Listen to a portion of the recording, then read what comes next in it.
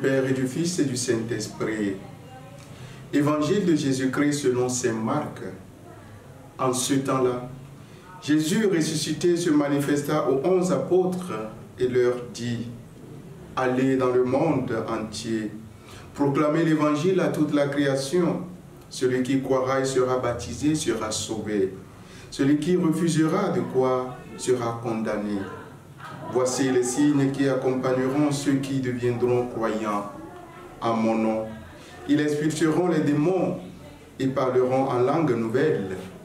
Ils prendront des serpents dans leurs mains et s'ils boivent un poison mortel, il ne leur fera pas de mal.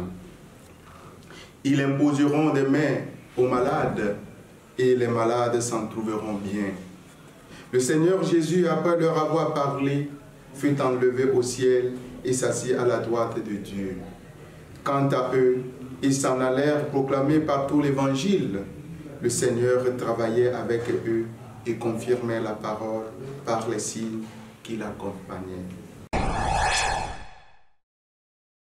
Aujourd'hui, nous célébrons Saint Marc l'évangéliste, celui-là qui s'est évertué grâce à ses plumes à transmettre jusqu'à nous la bonne nouvelle du salut. Bien-aimés dans le Seigneur, si nous avons une bougie en ce jour, bien vouloir l'allumer en l'honneur de Saint Marc. Frères et sœurs en Christ, l'évangile de ce jour nous parle du mandat missionnaire donné par le Christ ressuscité à ses apôtres. Et qu'est-ce qui justifie bien ce mandat missionnaire? En effet, après la résurrection du Christ, beaucoup de ses apôtres n'ont pas cru à cette résurrection. Ils n'ont pas cru aux paroles de ceux à qui le Christ ressuscité s'est manifesté. Et c'est pour leur reprocher cette incrédulité, cette dureté du cœur que le Christ les envoie proclamer cette bonne nouvelle de résurrection, cette bonne nouvelle du salut au monde entier. Bien-aimés dans le Seigneur. Parfois, nous doutons de l'évangile que nous avons reçu. Nous ne croyons pas à cet évangile. Et pourtant, notre vie ou notre mort en dépend. Notre vie dépend de l'acceptation ou du refus de cette bonne nouvelle bien-aimés dans le Seigneur. Nombreux sommes-nous à être des chrétiens, à écouter la bonne nouvelle du salut. Mais est-ce que nous avons la possibilité aujourd'hui de proclamer cette bonne nouvelle? Sûrement non, tout simplement parce que nous n'y croyons pas nous-mêmes. Mais le Christ nous demande en ce jour d'y croire et de pouvoir proclamer cette bonne nouvelle. Voilà pourquoi il nous dit, celui qui croit, il sera sauvé. Si notre vie ou notre mort dépend de cette nouvelle, de cette bonne nouvelle bien-aimée, nous devons avoir le courage et sans peur de proclamer cette bonne nouvelle à tout le monde.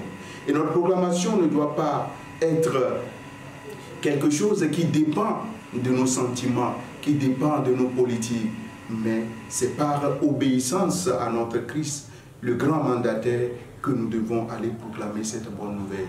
Que cela plaise ou pas, nous devons pouvoir le dire parce que c'est la bonne nouvelle du salut. Bien-aimé de Dieu, ce qui m'intéresse en ce jour, ce n'est pas le miracle qui accompagne ceux qui iront prêcher la bonne nouvelle, mais c'est notre degré de foi, notre degré de croyance à cette bonne nouvelle. C'est à partir du moment où nous croyons nous-mêmes en cette bonne nouvelle que nous pourrons la partager à ceux qui sont autour de nous. Et c'est cette croyance d'ailleurs qui opérera de miracles, qui apportera la bonne guérison, qui apportera la liberté, qui délivrera les prisonniers. Pas tout ce que nous irons raconter, mais c'est la foi que nous avons nous-mêmes qui apportera le miracle. Demandons au Seigneur de nous accorder la foi en cette bonne nouvelle afin de pouvoir libérer et guérir nos frères de leur servitude, de leur pauvreté, de leur maladie spirituelle et corporelle, de leur apporter de quoi vivre pour pouvoir bénéficier aussi du salut que la bonne nouvelle nous a apporté. Donne ta vie à Dieu.